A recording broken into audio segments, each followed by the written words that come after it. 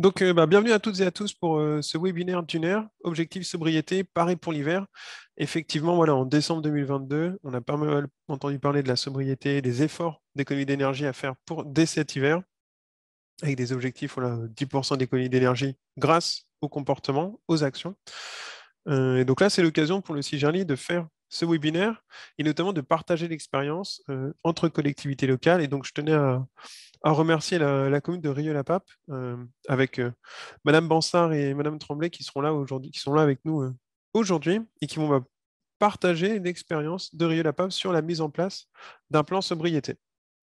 donc je me présente, je suis Max Senange, je suis référent sobriété au sein du, du CIGERLI. Et ben avec un grand plaisir, et je serai justement l'animateur de ce, de ce webinaire.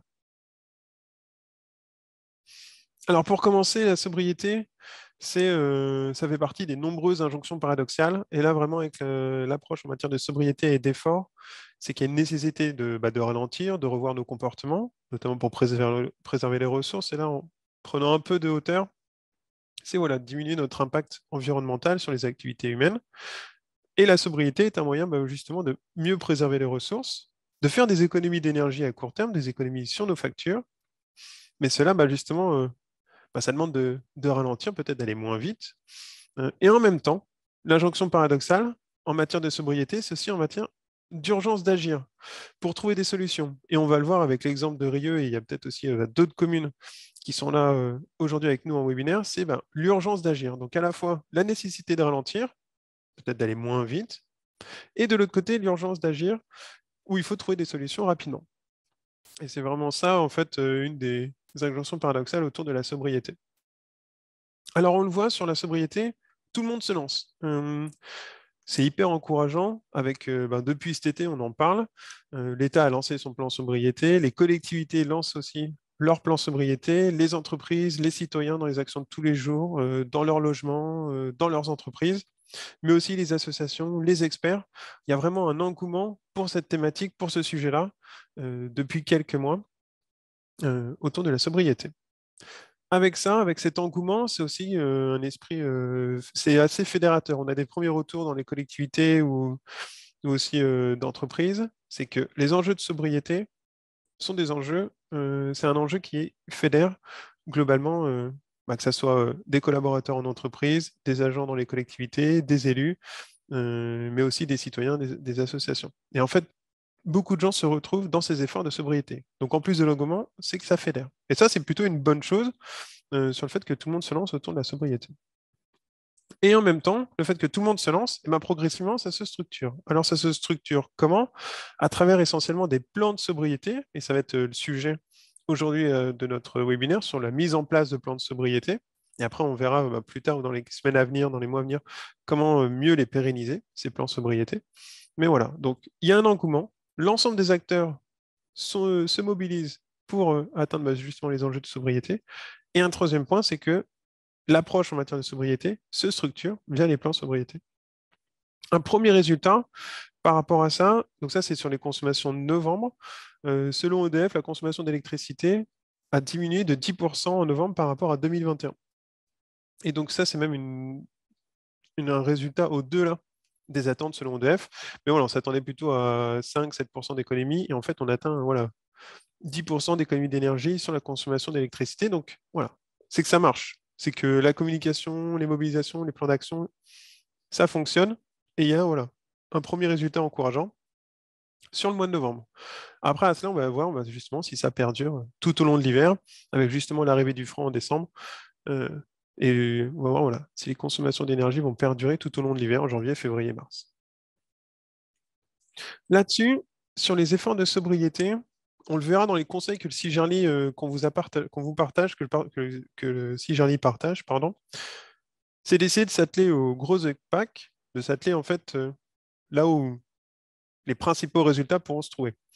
Euh, et dans le tertiaire, donc là c'est une étude, c'est une analyse de l'association Megawatt euh, qui a justement répertorié le potentiel euh, des économies d'énergie sur les bâtiments tertiaires. Et on le voit qu'il y a certaines actions, certaines euh, résolutions qui ont plus d'impact que d'autres, et ça permet aussi aux communes de prioriser ces actions.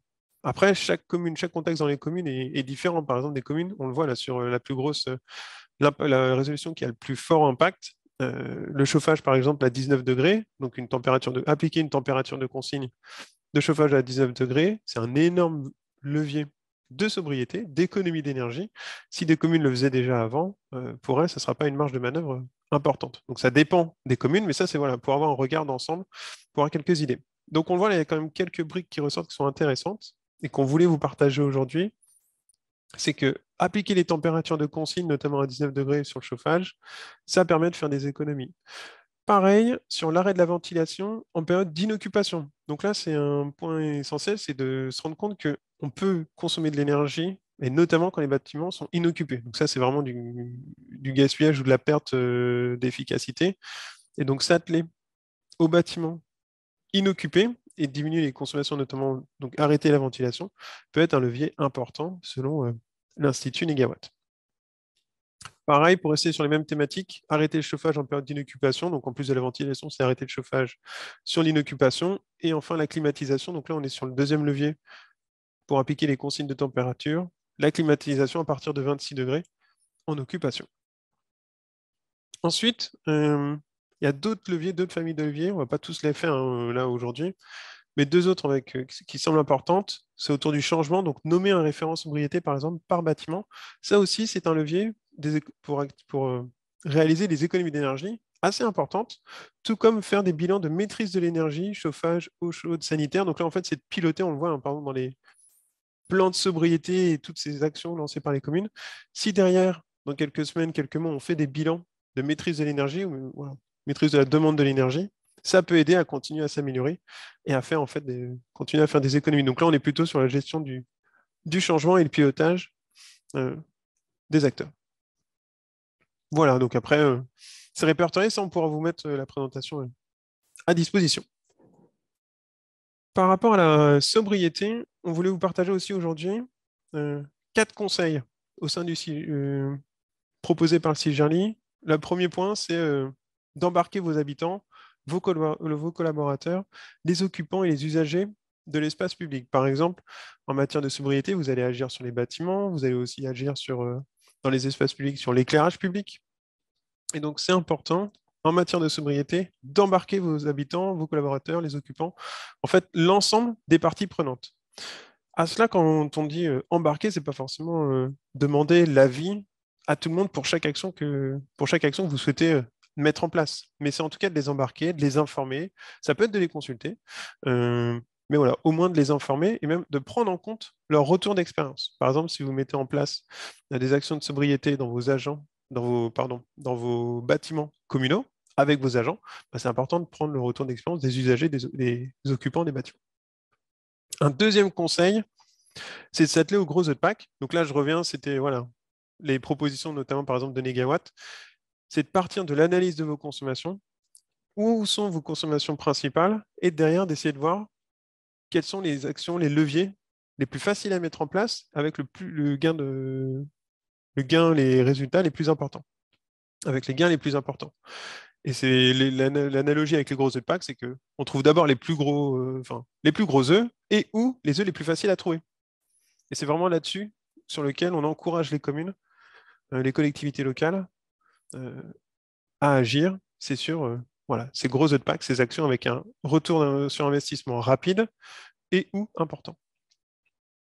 Un troisième point, ça va être de payer de l'intelligence au lieu de payer de l'énergie.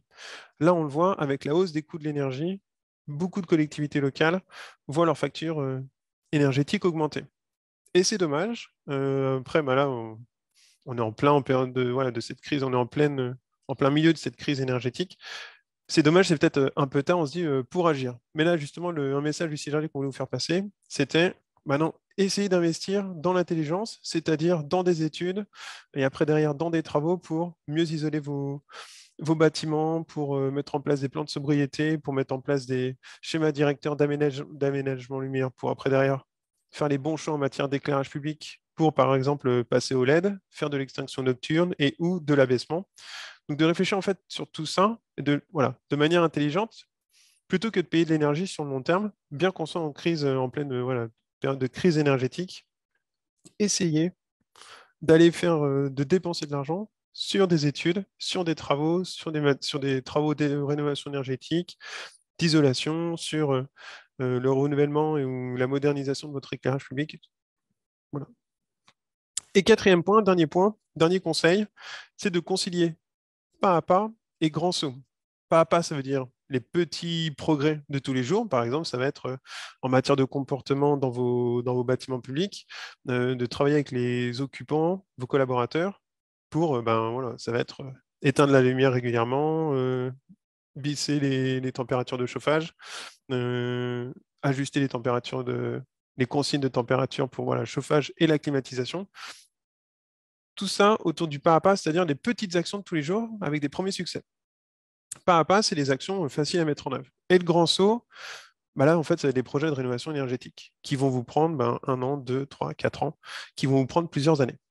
Mais essayez de faire les deux et que quand vous mettez en place votre plan sobriété, donc oui, l'essentiel des plans de sobriété des communes sont euh, des, plans d'action sur plusieurs semaines, plusieurs mois, mais en perspective, on vous encourage en fait avec, à côté vos plans de sobriété, de mettre en place des stratégies patrimoniales euh, des stratégies de rénovation énergétique euh, ou des schémas directeurs, par exemple, d'aménagement lumière. Et c'est vraiment avec cette brique, on va dire cette brique complète, pas à pas et grand saut, que vous allez réussir sur le long terme à faire des économies d'énergie euh, pérennes. Voilà sur les quatre conseils qu'on veut vous partager. Et en plus, un dernier point, c'est sur l'accompagnement du CIGERLI. Donc, le CIGERLI, on accompagne nos communes adhérentes on a rédigé un guide sobriété qui est en accès sur notre site internet. C'est un guide sobriété qui répertorie bah, justement euh, des actions à mettre en œuvre, des, mesures, euh, on va dire même techniques, hein. par type de bâtiment. Par exemple, on vous encourage, voilà ce que vous pouvez faire dans les bâtiments euh, sportifs, dans des piscines, dans des écoles. on a une listée, voilà, plus d'une cinquantaine d'actions que vous pouvez mettre en place, mais aussi des conseils sur la gestion du changement et comment embarquer vos, vos, agents, vos occupants et les citoyennes et les citoyens dans ce guide, qui est en accès sur notre site internet. On pourra aussi vous, partager le lien de ce guide à la suite de ce webinaire.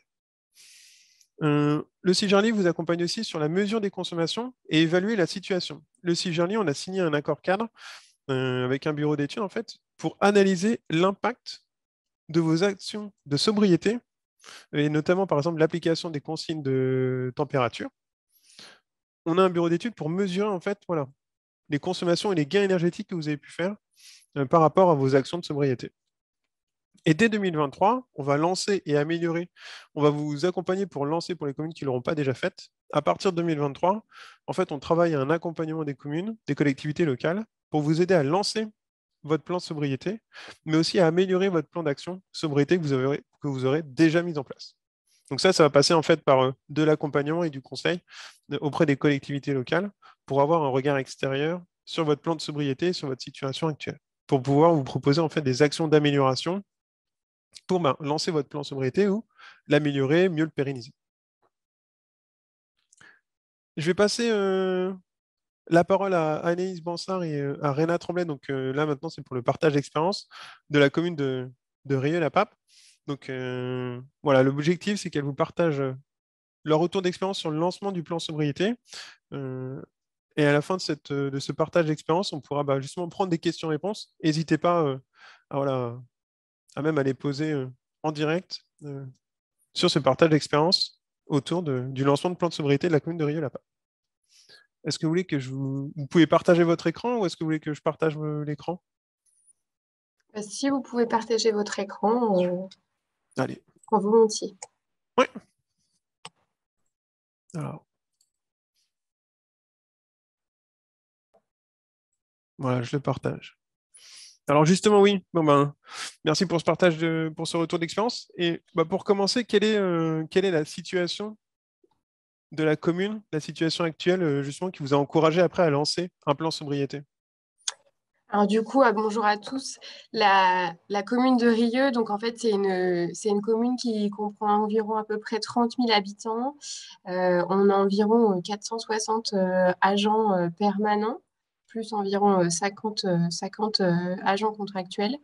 c'est une, une collectivité du coup qui comprend à peu près 8 quartiers qui sont extrêmement variés puisque du coup, on a trois principaux secteurs. Un secteur sud qu'on appelle le secteur de Crépieux, qui est un secteur d'habitation, un secteur très urbanisé avec, voilà, avec beaucoup de logements et de l'habitation très dense, donc qui s'appelle le secteur de la ville nouvelle, plus un dernier secteur qui est plutôt le secteur euh, un peu plus rural avec euh, voilà, une urbanisation plus légère, donc, euh, qui est le secteur de Vancia et aussi le secteur du Loup-Pendu. Donc, voilà, donc on a une commune qui, est, qui a une, typologie très variée avec un patrimoine bâti assez riche puisque du coup on a environ un peu plus de 135 bâtiments communaux qui sont extrêmement variés puisqu'on a sur le territoire un fort, une piscine, 10 groupes scolaires, des gymnases, des bâtiments administratifs, voilà, plus après des équipements un peu plus variés et divers avec, avec des, beaucoup de locaux associatifs. Euh, c'est vraiment la grosse euh, dominante sur, sur, le, sur la ville, euh, plus aussi des équipements un peu plus, un peu plus divers comme des containers, voilà, des abris, etc. Voilà, un fort, beaucoup de bâtiments sur notre ville.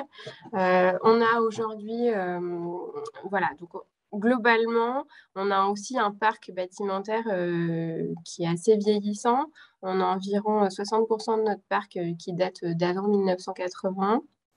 Et on a une grosse dominante à vocation enseignement, puisque ça représente 30% de notre parc bâtimentaire, 20% liés à la dominante sportive et 20% à la vocation associative. Donc aujourd'hui, en termes de, budget de fonctionnement, en termes d'énergie, euh, l'année passée, donc on avait un budget énergie qui était d'un million 750 et un prévisionnel pour l'année 2023 qui représente 2 millions d'euros. Euh, on s'est basé du coup sur, euh, sur une hausse d'électricité de 12% et une hausse de 14% pour la partie gaz. on a différents types d'énergie. Hein. On passe du, gaz, de l'électricité, du bois, on a du chauffage urbain aussi. Hein, sur Rieux, on est alimenté par le chauffage urbain et euh, un site encore euh, alimenté au fioul. Donc euh, globalement, en conclusion, la situation actuelle de Rieux, c'est qu'on a un patrimoine qui est assez riche et varié et plutôt hétérogène, avec, avec voilà, avec 60, à peu près 60% de notre parc qui est concerné par le décret tertiaire. C'est un des points aussi qu'il faut, qu'il faut noter. On a, on a notre parc qui est vraiment beaucoup concerné par le décret tertiaire. C'est important, oui. Voilà, globalement sur la situation de Rio. Mm, mm. Ok. Et alors, comment avez-vous lancé euh, votre plan sobriété? Comment avez-vous lancé la démarche? Notre plan de sobriété, en fait, on l'a lancé euh, voilà, après, l'été. Euh, donc notre président de la République avait annoncé au mois de juillet, euh, début juillet, euh, le lancement d'une démarche du coup d'une stratégie de sobriété énergétique pour réduire les consommations. Donc notre directeur général des services nous a demandé en septembre d'élaborer du coup une stratégie. Donc en fait cette stratégie on l'a élaborée avec deux directions. Hein. Donc ma direction, donc la direction des projets qui euh, mhm. regroupe euh, l'ensemble des bâtiments et la gestion en énergie et réseau euh, de notre parc bâtimentaire et une direction annexe qui est la direction des services de proximité qui concerne, qui comprend la gestion de l'éclairage public. Donc en fait, on a échangé avec les directions aussi gestionnaires des équipements publics et avec notre directeur général euh, pour affiner un plan d'action et on l'a fait ensuite euh, valider euh, forcément à notre exécutif et à notre maire. On a lancé du coup notre démarche d'établissement d'un plan de sobriété énergétique et le moment où on a pu acter de sa validation nous a fallu environ, environ deux mois. Euh, voilà, donc en fait, ce qu'il faut savoir euh, à la ville de Rieux, c'est qu'en fait, on a couplé ce plan de sobriété énergétique avec une démarche qui est euh, un schéma directeur immobilier énergétique dans, lequel dans laquelle on, on s'est inscrite depuis maintenant un peu plus d'un an. donc, on avait déjà pas mal d'éléments de diagnostic sur notre parc bâtimentaire puisqu'on avait fait un gros travail de recensement et d'état des lieux de notre parc et de l'usage qui nous a beaucoup aidé euh, dans l'établissement de, ce plan. Et en fait, on a voulu élaborer un plan en, quatre grandes étapes. Et ça fait écho un peu ce que vous disiez précédemment, c'est que voilà, on a, on a élaboré ces étapes en fait en utilisant différentes stratégies, une stratégie plus du pas à pas et de la gestion quotidienne avec des petites mesures, mais qui ont forcément un impact important. Et après, voilà, élaborer vers le grand saut en élaborant une politique énergétique plus importante. Mmh. En fait, notre plan, il s'est élaboré en quatre grandes étapes un grand volet euh, sur la sensibilisation, parce que pour nous, c'était extrêmement important d'avoir de l'adhésion et euh, de pouvoir communiquer sur ce qu'on mettait en place pour du coup faire adhérer euh, notre personnel, mais aussi voilà, tous les utilisateurs des bâtiments. Ça, Réna, du coup, vous le détaillera un peu plus en détail par la suite. un autre volet, du coup, sur l'optimisation de l'usage et la gestion technique. Donc là, c'était plus dans l'échelle du pas à pas, les mesures techniques qu'on met en place, avec euh, du coup une amélioration. Voilà, on apporte petit à petit des moyens techniques pour améliorer notre gestion. Et un dernier volet euh, sur une politique énergétique à plus long terme. Et voilà, là, c'est plus la politique du grand saut, où du coup, on met des moyens un peu plus importants pour vraiment asseoir notre démarche euh, énergétique. Donc voilà, Suite à ça, l'élaboration de ce plan, on a, diffusé, enfin, on a réalisé différents euh, outils, une note de service à l'intention des, agents, des articles pour pouvoir communiquer sur ce qu'on a mis en place, plus des réunions spécifiques euh, avec euh, les différents utilisateurs pour expliquer la démarche, toujours dans, dans, une gestion, enfin dans une optique de faire adhérer pour que tout le monde se sente impliqué dans ce qu'on met en place je laisse la parole à Rena qui va rentrer un peu plus dans le détail sur, euh, sur les différentes mesures qu'on a pu euh, mettre en place. bonjour à toutes et à tous. Oui, on peut passer sur les mesures mises en place. Donc, euh, en termes de, de, mesures, en effet, on s'est on basé sur quatre piliers. Les quatre piliers donc, de nos mesures, c'était d'abord la sensibilisation des occupants, euh, ensuite l'optimisation des usages, euh, puis après l'amélioration des installations techniques jusqu'à euh, voir la, politique énergétique de la ville. Et c'est en effet, on passe crescendo des, du pas, pas à pas au, au grand saut. Aujourd'hui, on, sait tous que la sensibilisation et l'accompagnement au changement, c'est un levier incontournable pour euh, baisser euh, la consommation énergétique avec un retour sur investissement euh, très rapide. de l'ordre de 10 à 15% d'économie d'énergie. Donc, il était important d'accompagner au changement nos usagers. C'est pourquoi on a mis en place un, guide des éco-gestes en début de saison de chauffe, décrivant des petits gestes simples voilà, pour faire des économies, pour, rappeler les, des gestes qui, nous semblent des fois évidents et qui ne le sont pas forcément tout le temps pour tout le monde. Donc c'est important même des, des fois de se répéter, mais c'est, c'est, ça, ça, reste, ça reste quand même important de, de, de l'écrire et de le présenter dans un guide. Euh, on, a, on, a fait, euh, on a envoyé un, questionnaire aux usagers pour connaître leurs habitudes, leurs besoins, euh, pour leur laisser aussi la parole de nous proposer des pistes d'économie d'énergie. et, on a profité donc du, petit déjeuner autour du plan de sobriété énergétique pour reprendre ces propositions-là et, euh, expliquer euh, en tout cas euh, notre, enfin, la position de notre hiérarchie là-dessus, là où en effet les propositions étaient pertinentes, d'autres où enfin, les témoins et, les raisons, etc. Donc voilà, on a essayé aussi d'apporter des réponses à, à ces propositions-là lors de, ce petit déjeuner autour du plan de sobriété, on a lancé aussi un appel pour créer une équipe de référents. on a rappelé l'importance que voilà, le rôle du référent, ce n'était pas de fliquer les autres, euh, les collègues ou, les autres usagers, parce que ça faisait, ça faisait part à certains de se dire mais non, j'ai pas envie de porter ce rôle-là. Donc le rôle du référent, c'est vraiment de représenter les agents de son site, de relayer les, infos avec l'équipe projet euh, les référents sur place, ils connaissent mieux leur bâtiment et sont donc euh, en position de, proposer euh, des idées que, voilà, en tout cas, en tant que, que, chef de projet, on n'a pas forcément la même connaissance du, du, bâtiment. Et donc, il était important pour nous que cette démarche, elle soit soutenue par notre hiérarchie pour la rendre légitime euh, vis-à-vis, en tout cas, de l'ensemble des, usagers. En, parallèle, en parallèle donc, de cette démarche-là, euh, on a inscrit euh, six de nos groupes scolaires au, Cube, au Challenge Cube École.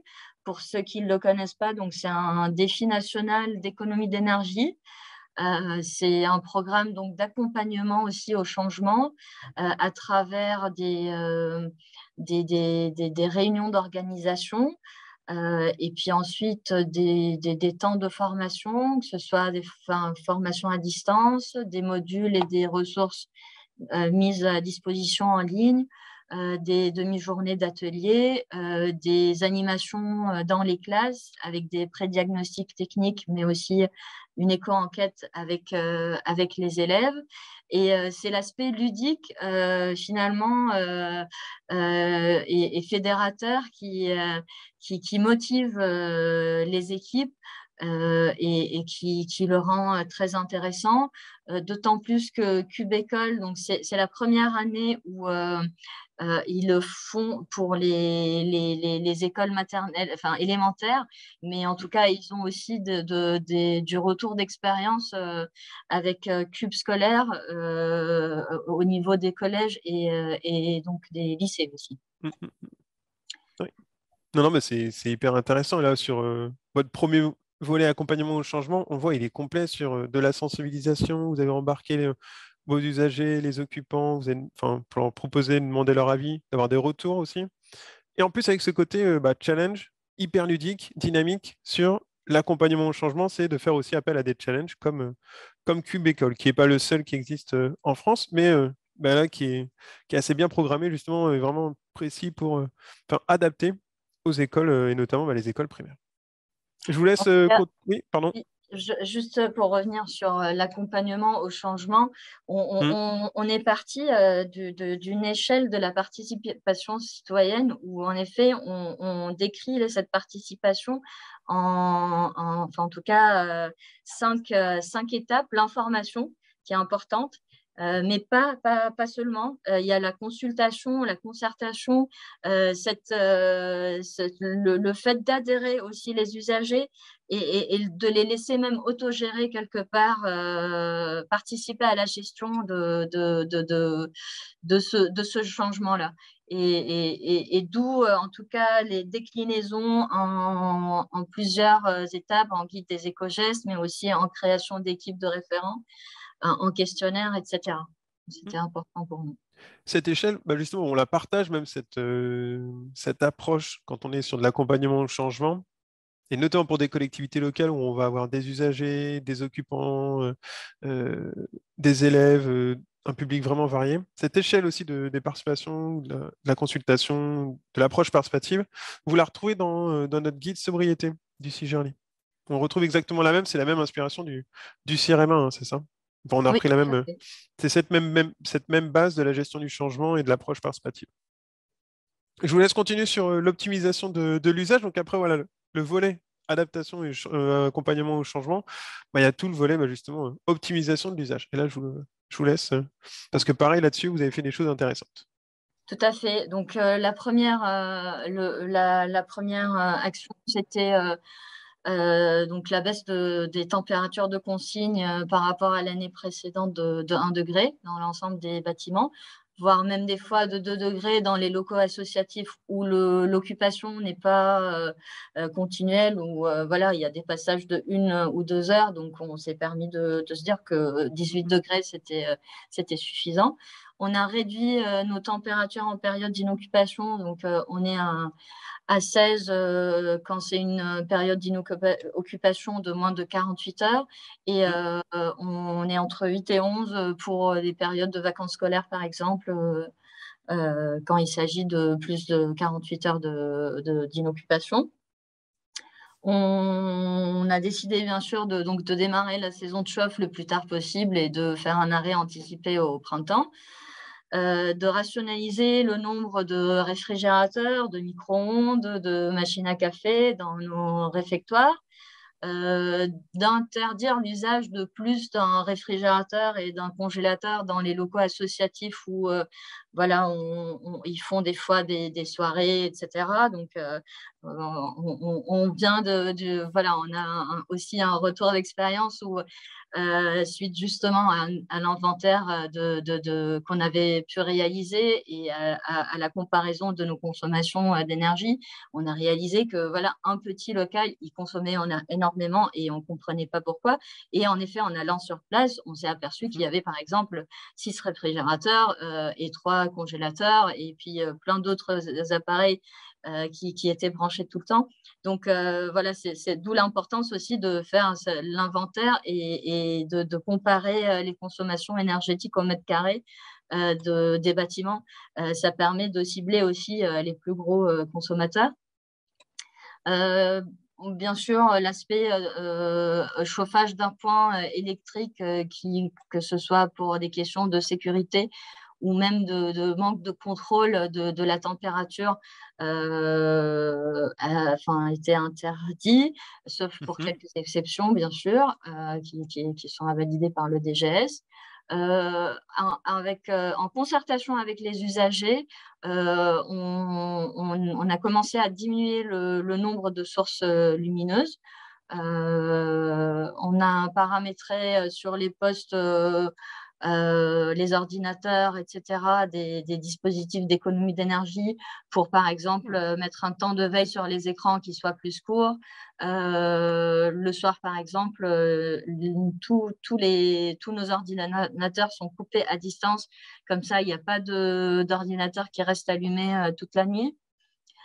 sur l'éclairage public, on a la possibilité de baisser l'intensité lumineuse avec graduation de puissance. Euh, euh, et, quand c'était possible, euh, donc on, a arrêté l'eau chaude dans les sanitaires, à l'exception bien sûr des, des, vestiaires dans les gymnases mmh. et, ou, les, ou même les réfectoires. Voilà. et dernier point dans l'optimisation de l'usage, c'était en effet l'amélioration du taux d'occupation des bâtiments, que ce soit en regroupant les horaires d'usage pour réduire donc la période de chauffe, ou euh, même en multipliant les usages euh, sur un même site avec différents types d'occupants. Le dernier exemple, c'était c'était un, un, local qui ne servait que, par exemple, pour un mercredi par semaine les après-midi.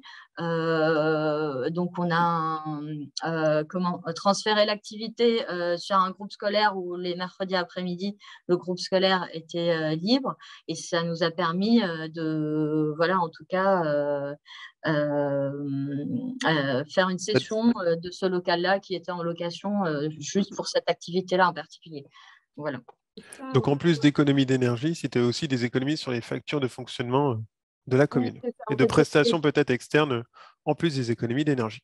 Cette démarche, en fait, ce que je disais en préambule, on l'a couplé avec notre schéma directeur immobilier qui nous a mm. permis aussi de, de voir qu'en fait, sur, notre, sur, sur, la ville de Rio, on avait quand même beaucoup de bâtiments à vocation euh, associative. Et, euh, et, du coup, voilà, ces deux travails en, parallèle, ça, on travaille beaucoup sur cette amélioration de notre taux d'occupation parce que voilà, il y a un gros vecteur de ce côté-là. Donc, euh, c'est vrai qu'il y a beaucoup de choses euh, à, mettre en place et on s'en est, euh, on s'en est rendu compte avec ce schéma directeur. OK. Alors, un troisième volet sur les mesures que vous avez mises en place, c'est tout ce qui est amélioration des installations techniques. Et là, pareil, vous avez eu pas mal de, de volets, pas mal d'actions. Tout à fait. Donc, euh, bah, vous l'avez compris, on a commencé par finalement les actions qui ne nous coûtaient pas beaucoup euh, d'argent. Et, donc, euh, bah, il, faut à un moment donné aussi euh, investir. Et donc, c'est là où on commence avec l'amélioration des installations techniques. Euh, donc, on, profite quand même de, des C2E qui sont aujourd'hui, qui permettent de, de, calorifuger les réseaux, d'isoler les, les, planchers bas, tout en étant bien sûr très vigilant sur le choix de l'entreprise qui fait les travaux, etc. on va lancer un projet d'installation de robinets thermostatiques dans les groupes scolaires, euh, remplacer les pommeaux de douche euh, dans les gymnases. Euh, on a fait le choix donc de désembouer les réseaux et installer un pot à bout à hauteur d'un projet par an. Sur aussi en tout cas les, les, nos plus gros consommateurs. Mhm. Remplacer les vieilles chaudières par des récentes plus performantes à hauteur d'un projet par an. On va lancer une campagne d'installation d'horloges astronomiques euh, pour couper euh, ventilation et éclairage intérieur la nuit euh, quand c'est possible et en période d'inoccupation. On a lancé, on a commencé déjà une campagne de, relamping, donc remplacement des luminaires classiques par des LED. Euh, et on travaille sur euh, la mise en place d'un contrat de maintenance et d'entretien de l'ensemble des VMC simple flux euh, dans les bâtiments qui sont un peu, voilà, avec le temps, manque des fois d'entretien et, qui ne sont pas dans notre contrat d'entretien et de maintenance comme pour les systèmes de chauffage. Et donc, le dernier volet, euh, bien sûr, c'est euh, cette politique énergétique et cet engagement dans la durée. Donc, investir dans des installations de panneaux photovoltaïques, euh, introduire dans la prochaine PPI des travaux de rénovation énergétique globale visant les bâtiments les plus consommateurs et les, les, les plus dégradés et puis euh, équiper les nouveaux bâtiments de systèmes de gestion euh, et de suivi euh, type GTB, GTC. Voilà pour l'ensemble des, mesures. Merci. alors, si vous voulez, est-ce qu'il y a des questions parmi les, les participants sur, déjà sur ce premier partage d'expérience de la commune de Rieux euh, et après, sinon, ben, on pourra vous demander voilà, quels sont vos, retours d'expérience à date. Mais d'abord, est-ce qu'il y aurait des questions par écrit ou, par, euh, ou à l'oral hein, Vous pouvez activer votre, votre micro. Alors, Max, il y avait une petite question par écrit. Je ne sais pas si tu l'as vu passer dans le fil. Euh, non. Alors, attends. Alors, bonjour. Je vous très bien pouvoir échanger sur la sensibilisation effectuée par Rio Pape. Nous allons faire appel à une assistance à maîtrise d'usage sur le même sujet. Et c'était assez. voilà, Aurore. Bonjour. voilà. Je vous laisse la parole. Bonjour, je suis économe de flux à la ville d'Annecy et euh, du coup, sur le même sujet, euh, on va faire appel à une assistance à maîtrise d'usage pour, euh, pour justement sensibiliser sur la sobriété énergétique auprès de plusieurs de nos agents sur 18 bâtiments les plus consommateurs et donc ça toucherait environ 1100 agents. Euh, et du coup, effectivement, euh, nous, on a, bah, ça a pris un petit peu de temps pour euh, justement faire tout ce qui est commande publique, marché, etc., pour pouvoir commencer cette assistance à maîtrise d'usage. Ça devrait pas tarder à arriver, mais on n'a pas pu commencer en début de saison de chauffe. Et c'est vrai que j'aimerais bien échanger sur bah, les, bonnes les bonnes pratiques euh, par rapport à, ce que vous avez pu mettre en place euh, auprès de vos agents. Euh...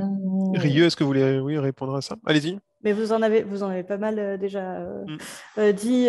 par la suite, j'ai posé la question peut-être un petit peu en avance.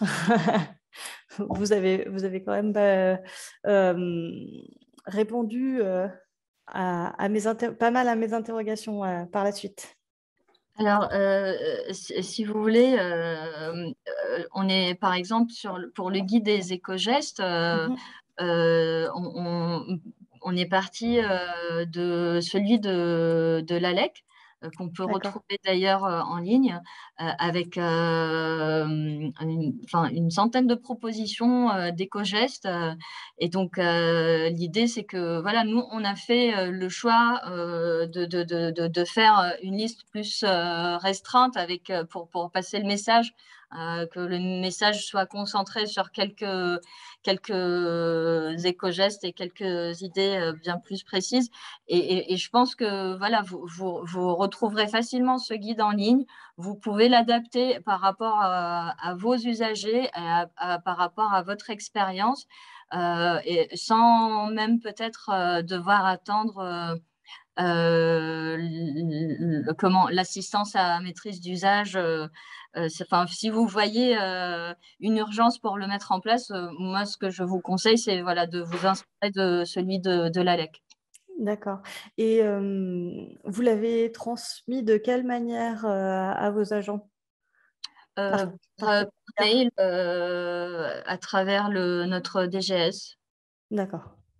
Merci. En fait, nous, on a quand même, on avait insisté sur ce point euh, pour pouvoir fédérer, mais faire adhérer euh, nos agents. Euh, pour nous, il était très important qu'on associe notre directeur général pour que, et puis que le canal de diffusion passe vraiment par lui et que ça vienne pas de nous, services techniques vraiment purs et durs, mais vraiment que la démarche soit portée vraiment au plus haut de la vie. Ça, c'est un des points sur lesquels on aujourd'hui, c'est un petit peu compliqué sur la ville d'Annecy puisqu'on n'a plus de DGS et qu'on va bientôt plus avoir de DGA. c'est, voilà, du coup, c'est, un peu spécifique, mais il faut qu'on trouve quelqu'un d'autre. En tout cas, c'est important, euh, en effet, d'avoir euh, cette légitimité. Et je, en effet, euh, personne n'est mieux placé que le DGS ou un DGA pour pour porter le message et qu'il soit vraiment euh, entendu et pris en compte par euh, l'ensemble des, agents. Bien. Est-ce qu'il y a d'autres questions? Oui, il y a Gwendoline de Villeurbanne qui a levé la main. Allez-y. Oui, bonjour à tous. Eh bien, merci pour cette euh, riche présentation. moi, je me posais la question par rapport à vos référents. Euh, savoir, euh, donc vous êtes parti sur euh, la base du volontariat, de ce que j'ai compris. donc je voulais savoir si ça avait du coup suscité des, volontaires et aussi comment se joue la, formalisation de leur euh, mission euh, et euh, l'articulation avec des, les agents de terrain comme les gardiens ou responsables techniques dont c'est le rôle voilà, dans, chacun dans leur équipement. Euh, voilà, parce qu'on a un peu ce débat, nous, à Villeurbanne, à savoir euh, si euh, on met en place des référents qui, soient, qui se portent volontaires ou si on s'appuie vraiment sur nos, notre personnel de proximité et que ça soit clairement dans leur mission et qu'on on intègre plus de manière systématique et et euh, généraliser euh, la mission d'être ambassadeur euh, des éco-gestes et d'être dans cette veille, cette vigilance au quotidien sur l'optimisation des usages. Et on penche plutôt vers la deuxième solution avec, les directions opérationnelles, nos grosses directions sport, éduc. et associatif et culture. Donc voilà, je suis intéressée de savoir comment vous avez opérer alors, je, vous confirme, c'est donc du volontariat. Euh, euh, on a profité donc du petit déjeuner autour de la sobriété énergétique pour que les personnes présentes euh, s'inscrivent à, la liste. C'était important pour nous parce que c'est encore différent des agents d'exploitation qui sont sur site. Euh, et qui euh, le soir veille à l'extinction euh, de l'éclairage et que toutes les portes soient fermées après le départ de l'ensemble des, agents. Là, c'est ce qu'on recherche, c'est encore une fois, c'est pas uniquement faire de la veille et, fliquer les usagers ou, ceux qui ont oublié d'éteindre leur lumière, etc. L'idée, c'est de, de, aussi créer un, un groupe de travail où on vient apporter des idées ludiques. J'ai par exemple une référente qui m'a parlé de faire une journée euh, journée pull euh, avec euh, élection du plus beau pull, voilà, pour, pour inciter les usagers à venir avec de gros pulls tel jour. Donc, c'était vraiment création d'une équipe pour puiser au pour avoir des nouvelles, des nouvelles propositions, créer peut-être des petites vidéos euh, qu'on euh, transmet plus tard aux usagers euh, pour voilà, rappeler les éco-gestes, etc. Donc voilà, c'est, en effet, on a fait une vraie différence entre les agents d'exploitation qui sont sur place et, mmh qui font déjà beaucoup de choses, mais, mais là, c'est complémentaire. je sais qu'on aura besoin de, de, monde, par exemple, pour euh, regrouper euh, les machines à café euh, ou les micro-ondes, etc.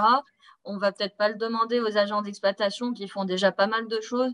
Et, là, ça part de, de, de, de ces personnes, enfin, ce sera plutôt demandé à ces personnes-là volontaires de le faire. Donc, voilà, on a bien dissocié les, les deux rôles. Comment on comment c'est inscrit euh, En tout cas, pour la première réunion de lancement, euh, le DGS, euh, elle n'a pas encore eu lieu, mais le DGS sera présent. On le fait dans sa salle de réunion pour aussi voilà, que ce soit légitime. Et après, on communiquera à l'ensemble des agents sur cette première réunion, sur les décisions, pour en tout cas communiquer sur la liste des personnes qui se sont inscrites et, qui, euh, qui, seront euh, référents de, des sites. Euh, et on a même pensé à ajouter cette mission-là dans la fiche de poste des personnes qui, qui, qui, sont référentes pour encore plus s'appuyer sur le fait que c'est vraiment légitimes et qui seront euh, en tout cas quelque part euh, euh, reconnus. Reconnus, voilà, tout à fait. Mm, mm. Avec cette reconnaissance de l'implication dans, la... voilà, dans les efforts de sobriété. Oui, Madame Bansard en parallèle de, ça et de la désignation de ce que nous, on a appelé les chasseurs de watts, parce que c'est comme ça qu'on a appelé nos référents, euh, on, a monté deux autres, deux autres organisations. C'est qu'en fait, on a mis en place aussi des, enfin, des groupes de travail avec les services gestionnaires, euh, donc, comme ce que disait la ville de Villeurbanne. Euh, on, a, on a mis un, monté un groupe de travail avec les services gestionnaires, le service des sports, le service de la culture, le service en gestion des bâtiments associatifs, pour élaborer, on a ciblé des bâtiments cibles pour mettre en place en priorité des mesures et des actions dans ces bâtiments. Donc il y a un vrai travail sur l'optimisation de l'usage qui a été aussi mis en place avec nos, collègues des, directions support.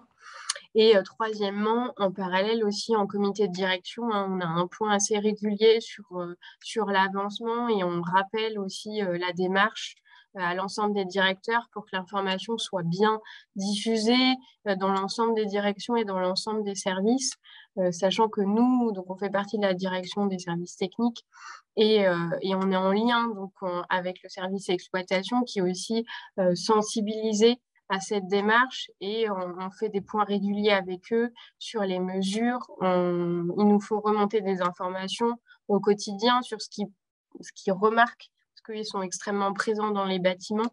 il y a un vrai travail euh, technique qui, aussi, qui a été aussi mis en place de par, euh, cette démarche. C'est vrai qu'on a, on a eu beaucoup d'adhésions. Euh, je pense aussi de par la conjoncture, ça, ça nous a beaucoup aidé. Et on, se rend compte qu'en fait, l'ensemble des agents est assez sensibilisé à cette démarche. Et nous, technique, euh, ça nous aide beaucoup aussi hein, dans, dans, dans les, mesures qu'on met en place et dans l'amélioration technique euh, du quotidien. Ok. Eh ben, merci beaucoup pour cet échange. J'ai vu, Aurore, que vous aviez levé la main. Je ne sais pas si vous vouliez rebondir sur ce sujet ou poser une autre question ou que finalement, c'est passé euh, à la trappe. Je ne sais pas si vous êtes toujours là. Aurore de la ville d'Annecy. Mince, non, tant pis. Pardon, excusez-moi. je... suis vraiment désolée, c'est juste le moment où, j'ai eu un appel. non, non, pas de souci. J'ai vu que vous aviez euh, justement levé la main là tout à l'heure, au moment où on parlait de comment est-ce qu'on fait avec des référents existants, est-ce qu'on crée un. Euh, oui, du coup, euh, c'était surtout pour demander quelle était la comment faire suivre l'information aux agents qui ne sont pas référents. Et du coup, en fait, vous n'avez pas encore euh, mis en place euh, euh, ça. Ce sera après, suite à, la réunion avec le DGS. voilà. Donc, vous avez répondu juste après. ok. Est-ce qu'il y a d'autres questions?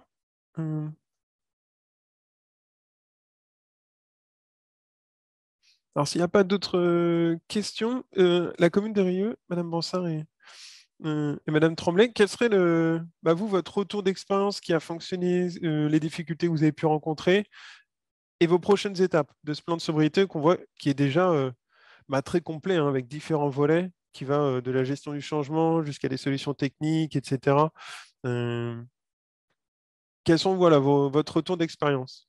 Alors, comme disait euh, Anaïs à l'instant, en fait, la conjoncture euh, actuelle, plus euh, finalement la large communication qui a été faite par, par, l'État, a facilité quelque part notre, notre tâche. Nous, de notre côté, on essaye d'être très vigilants aussi à respecter finalement les températures qu'on a qu'on a annoncé, à être très réactif sur les problèmes, à montrer aux gens que ce n'est pas juste une question d'économie d'énergie, mais que on tient aussi à ce qu'ils aient un, confort thermique, parce que c'est vraiment euh, aussi euh, euh, très important. donc, je peux dire que c'est plutôt un retour positif. Ok.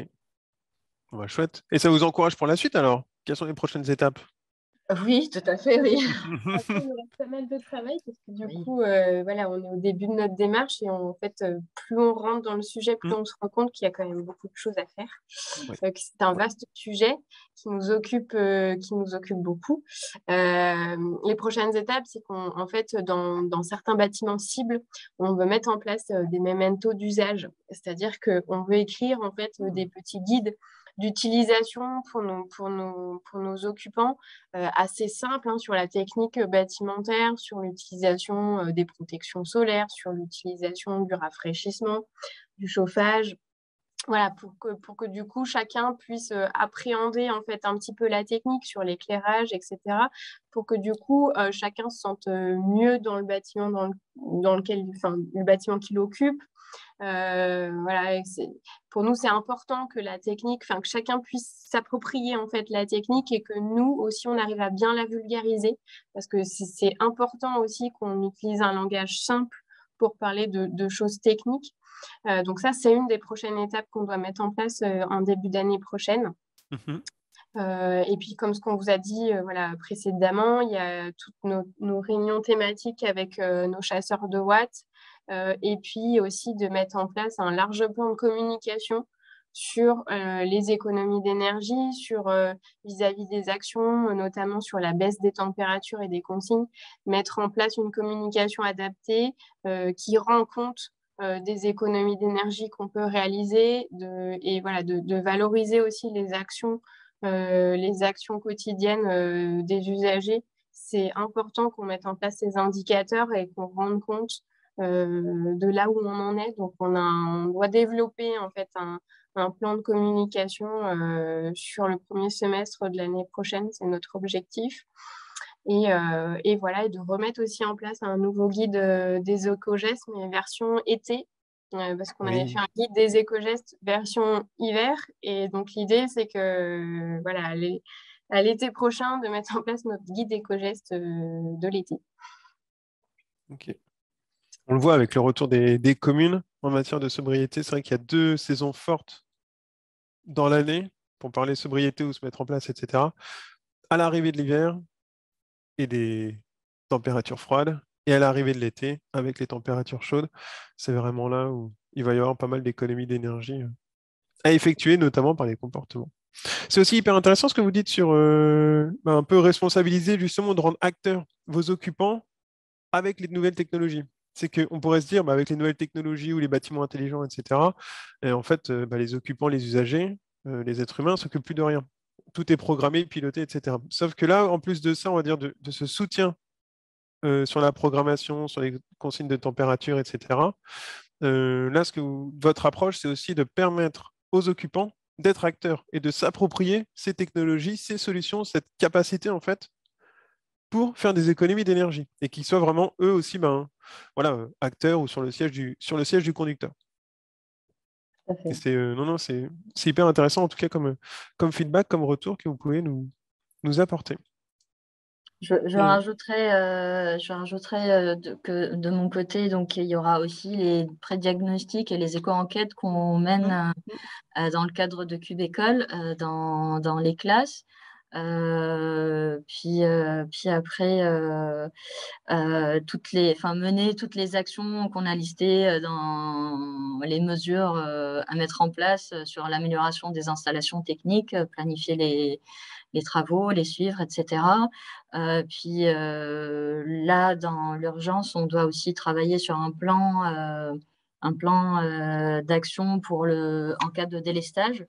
Mmh c'est-à-dire, euh, en tout cas, au-delà du plan de, sobriété qui est mis en place, c'est un plan de sobriété extrême à J-3 euh, en cas d'alerte rouge pour euh, baisser aussi notre consommation, pour espérer en tout cas éviter, éviter le délestage et la coupure électrique. Mmh, mmh, ok. Est-ce que vous êtes déjà positionné sur euh, de l'effacement? Par exemple, arrêter complètement euh, le chauffage euh, deux heures dans la journée quand vous faites du chauffage, quand vous êtes pour des bâtiments qui sont chauffés électriques, à l'électricité? En fait, euh, comme ce que disait Réna, on, vient tout juste de se mettre dans notre plan d'action. On, a déjà, hmm. vient d'élaborer un premier brouillon de ce plan d'action euh, avec euh, le plan d'action délestage, on l'a appelé comme ça. Hmm, et hmm. ça en fait partie, en fait, en fonction de l'émission du, du, signal orange ou du signal rouge. L'effacement fait partie de nos pistes et des actions qu'on va proposer à nos élus et, et à notre DGS. D'accord. Il y a, Aurore qui, demande est-ce que vous êtes accompagné pour le DIAG et les éco-enquêtes de Cubécole Alors, euh, Cubécole nous accompagne euh, sur, euh, le, premier groupe scolaire, donc un groupe scolaire où ils font le pré, pré-diagnostic et l'éco-enquête. et en fait, après, on nous donne les ressources et voilà les moyens pour qu'on puisse être indépendant et faire euh, les éco-enquêtes et les pré-diagnostics euh, par, euh, par nous-mêmes. Très bien, merci. Ok. Est-ce qu'il y a une dernière question? On peut prendre une dernière question si vous voulez. Et s'il n'y a pas d'autres questions, pour, on pourra conclure ou se donner rendez-vous pour une prochaine fois. Bon, il semblerait qu'il n'y ait pas de questions. Bon, en tout cas, ben, merci beaucoup à la commune de, Rieux pour ce, pour ce partage et qui a aussi euh, ben, suscité des, questions et du partage d'expérience. C'est aussi ça, euh, c'est pour ça qu'on organise euh, ce webinaire. Hum, on en refera donc après, enfin, on va dire à la fin de cette, de cette saison d'hiver. il y aura aussi une journée, une demi-journée organisée par le CIGERLI au mois de mars autour de la sobriété. Et là, on pourra faire un bilan justement de cette saison d'hiver, des actions qui ont été mises en place dans les collectivités locales pour continuer à se partager euh, les expériences les uns les autres. Et dans les prochains jours, les prochaines semaines, voilà, pour les communes qui le souhaitent, qui ont du mal encore à mettre en place ce plan sobriété ou qui aimeraient aller plus loin et être conseillés et accompagnés pour ben, améliorer leur plan d'action, n'hésitez pas à contacter euh, le CIGERLI où justement, donc là, nous progressivement, on, monte en compétences et pour apporter des solutions concrètes. On a commencé par le guide sobriété et là derrière, on va pouvoir proposer aux, collectivités locales de continuer à s'améliorer sur ces plans de sobriété. Je vois, il y a une peut-être un point dans une question. Alors, Gwendoline qui nous dit merci beaucoup. Très bien. Euh, sinon, bah voilà, euh, n'hésitez pas à, nous contacter le CIGERLI pour, euh, pour plus d'aide sur le plan sobriété. Et sinon, bah on vous donne rendez-vous à la fin de cette saison d'hiver pour faire ce retour d'expérience avec une première grosse saison autour de la sobriété, des actions où les communes, bah là, on aura encore plus de retours d'expérience après une saison d'hiver complète pour se préparer. Et là, en fait, au mois de mars, avril, on pourrait se préparer pour, pour l'été avec des actions complémentaires.